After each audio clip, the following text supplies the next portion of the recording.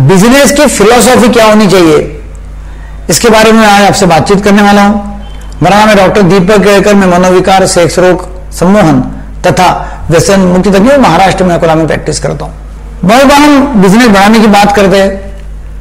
उद्योजक जो है वो सोचते रहता है कि बिज़नेस कैसा ग्रो करना। और उसमें हम बोलते हैं कि नहीं भाई, हरदम जो आप जहाँ भी हो, जो भी काम कर रहे हो, जिसके भी साथ में हो तो आपने विन विन सिचुएशन में काम करना चाहिए। और बिज़नेस में विन सिचुएशन इसका मतलब होता है कि मालक जो है, उसने जीतना चाहिए और कस्टमर जो है, उसने जीतना चाहिए। दोनों फ़ायदे में रहेंगे तो धंधा बराबर चलेगा।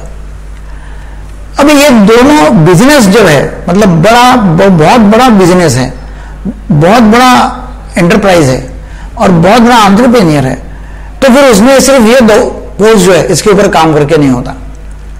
जो बड़ा उद्योजक है, वो देखता नहीं कि मैं जीतूं और मेरा कस्टमर जीत जाएगा। इसके ऊपर नहीं काम करता हो तो करता ही है, ये दोनों के ऊपर।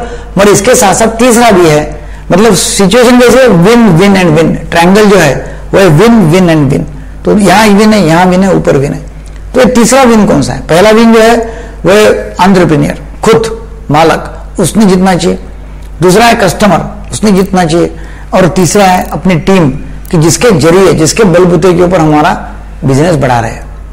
कस्टमर जितना चाहिए मतलब कस्टमर ने जितना दिया, उतना उसको मिलना चाहिए, या उससे ज़्यादा भी उसको दिया तो बहुत अच्छा है।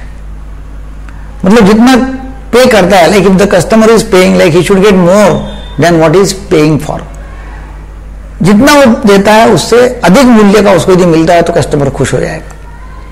तो इसलिए हम बोलते हैं कि भाई, जो कस्टमर है, ग्राहक जो है, वो ग्राहक भगवान है, ग्राहक राजा है। और ग्राहक राजा जो है, उसको राजा से ट्रीट करो, ग्राहक को तो आपको डेफिनेटली यश मिलेगा। दूसरा ये है कि वे खुद को, खुद के जो ड्रीम है आंट्रप्रेनियर के, खुद के ड्रीम्स पूरे होने चाहिए, खुद को पैसा चाहिए, खुद के जो भी बड़े बड़े सपने होंगे गोल्स होंगे, वो साकार होना चाहिए।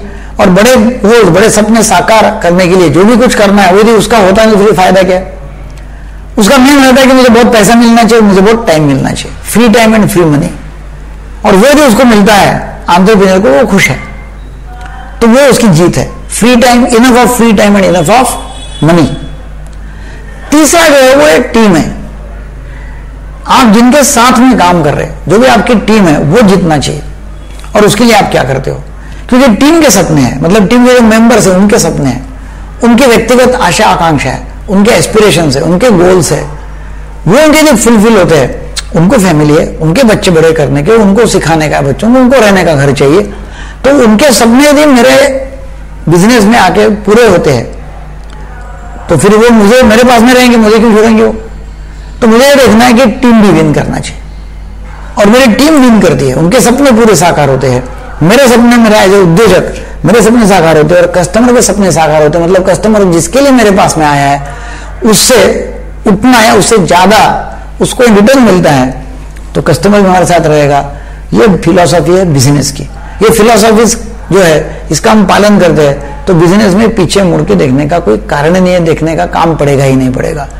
तो ये आपको अच्छा लगा तो ज़रूर जितने भी आपके बिज़नेस दोस्त है बिजनेसमैन है, दोस्त है, उनको ज़रूर शेयर करो सब्सक्राइब करो लाइक करो। Thank you very much